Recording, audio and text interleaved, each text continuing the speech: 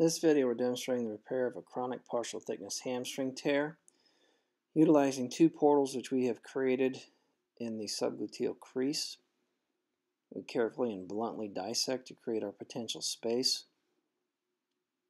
You can see that we had previously visualized the posterior femoral cutaneous nerve during the course of blunt dissection. We'll carefully dissect out the sciatic nerve as well. And then once we've identified our neurovascular structures, we proceed on with blunt dissection of the ischial tuberosity. Typically, I'll use a three-portal technique, two in the crease, and then one superior directly above the level of the tuberosity, which I've localized with the aid of a spinal needle and fluoroscopy. If we need to use electrocautery for hemostasis, we do so judiciously. We will utilize a shaver to clear some of the soft tissue as well, but typically you're able to do a great deal of dissection simply utilizing the blunt obturator. Preoperatively, we look very carefully at where we felt the tear would identify itself once we enter the gluteal space. The tear typically, if it's more medial, will involve more of the semimembranosus and semitendinosus involving the more medial aspect of the ischial tuberosity.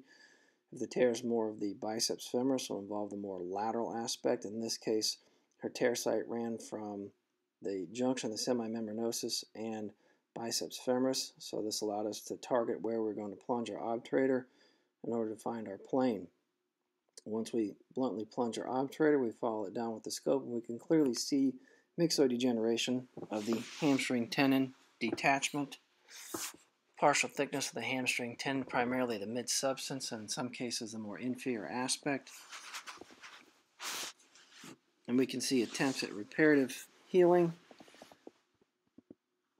in this case, we simply utilize our shaver and start debriding the myxoid degenerated areas as well as taking the ischial tuberosity down to a good bleeding bony bed to allow us to place our suture anchor.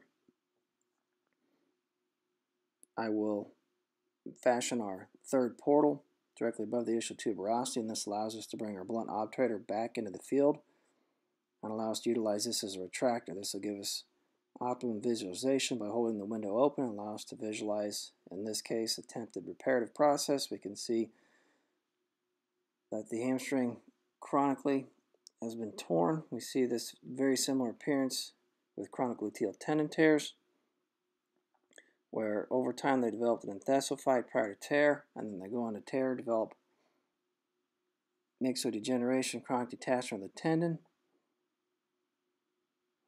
and we simply utilize our shaver in this case, but we can utilize the high-speed burr to drive this back to a good bleeding bony bed. Again, we're cognizant of our neurovascular structures. We want to take great care to ensure appropriate pump pressure. We keep our pump between 35 and 45 millimeters of mercury. I do utilize epinephrine, one ampule for every three liters to assist with hemostasis. And we simply carefully and expeditiously dissect out the torn portion of the hamstring tendon to allow us to reattach it. I do not routinely take down the hamstring for repair, simply prefer to debride the torn area and reattach. In my experience, this has been sufficient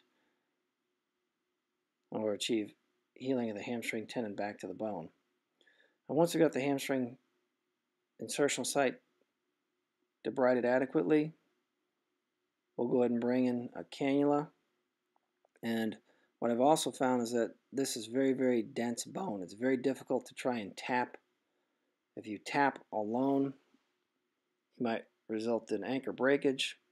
And so what I prefer to do is, with the cannula in place, drill a pilot hole. I've already drilled the pilot hole in this case. Prior to tapping, here I'm utilizing the Arthrex bioabsorbable 4.5 anchors. The tap has a very short distance for which you have to tap. That way you reduce our risk of drilling out through the ischial tuberosity into the foramen since we're trying to obtain the optimal angle at the inferior aspect. Once we've tapped, we bring our anchor in and simply seat it to depth. And you can see that I've got the retractor in through the superior portal, which later I'm going to utilize for suture shuttling. So we seat our anchor appropriately to depth. In this case, I really like our position. This is a rather small patient.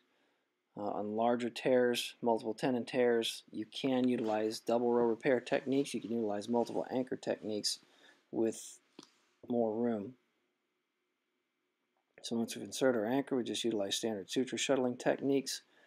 I prefer to pass the suture with either a labral scorpion or standard rotator cuff scorpion.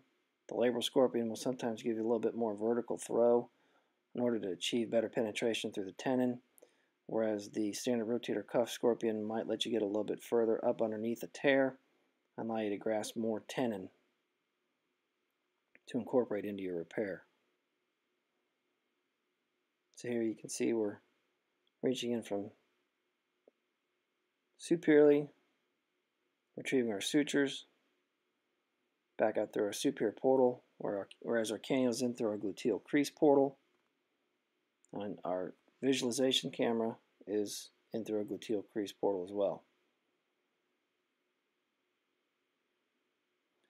I utilize the uh, C-scope, which allows me to not have to worry about getting too much water on the lens or too much fogging in the field and disturbing my visualization. Again, after I've passed sutures with standard passers, I go ahead and retrieve and tie with sliding locking knots and back them up with alternating half hitches. I do pass all sutures through the cannula to protect the neurovascular structures that are in the field because they're very in, in, very close proximity. Especially when passing down lower on the biceps femoris to take great care to ensure that I've got clear visualization of the sciatic nerve prior to tying my knots, but also prior to passes the suture through the tendon.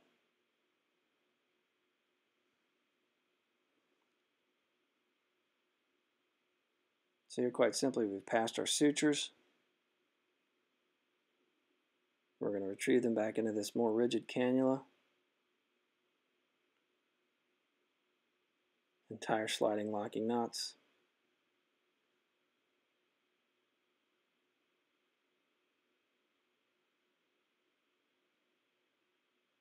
You can, at this point, if you wish to inject any PRP, ACP into the repair site, you can do so with the cannula in place. It's much easier with the cannula in place with the longer spinal needle and trying to find this at the end of the case as you might lose some of your potential space and here you've got optimum visualization.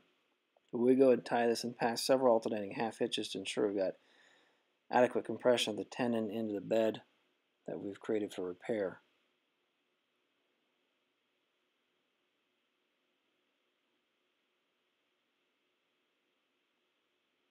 Again, I utilize an end cutter. I want the minimum amount of suture tail that I can get for each cut. Arthrex makes a nice device for this, which will cut the sutures very, very close to the knot.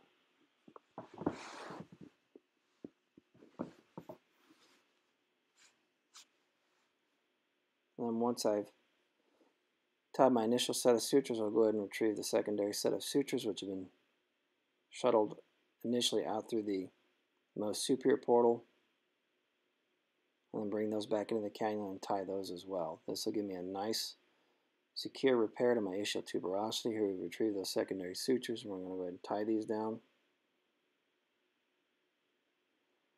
And then rehab post-operatively, I put them in a knee brace, hinge knee brace, flexed at 30 degrees of flexion. I keep them locked at this for six weeks except for passive range of motion. Currently, I do not start any strengthening until after week number six to try and protect the repair and I've had uh, great success thus far. See, we have a nice stable repair.